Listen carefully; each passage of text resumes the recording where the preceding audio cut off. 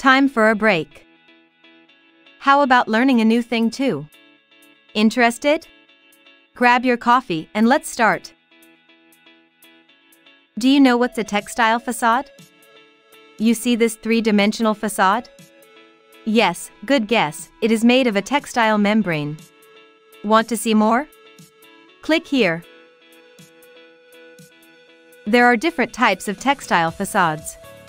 Covering facades. Cladding facades. Three-dimensional facades.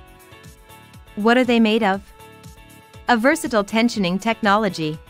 And an advanced composite membrane.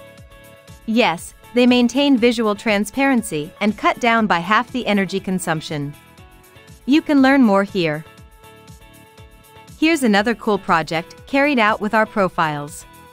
The iconic facade of Goodman Business Park in Japan. Did you know that you can also use tensile solutions in interior spaces too? This is the Luma Tower project in Arles, France. Designed by the very famous architect Frank Gehry. This is what it looks like inside. Why you should go for it. Whether you want a minimal or a complex design, textile facades are your allies. You can draw cool shapes and turn your innovative ideas into reality. They are also cost-effective, lightweight, eco-friendly. Textile facades are simply the future. Take your facade design to the next level. With us, we provide you with a complete facade design services. Amazing, right?